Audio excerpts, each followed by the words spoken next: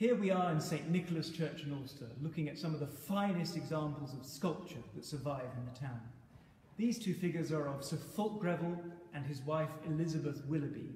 In fact, these two were the grandfather and grandmother of our Sir Fulke Greville. They were very interesting in their own right.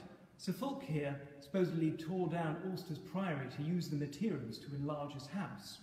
But the most important out of the two was Elizabeth.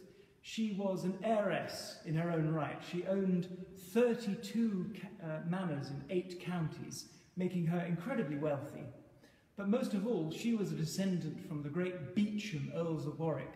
Uh, and of course, it was their grandson, Sir Fulke Greville, who in 1604 eventually owned Warwick Castle, the most wonderful and magnificent fortress linked to the powerful medieval Earls of Warwick.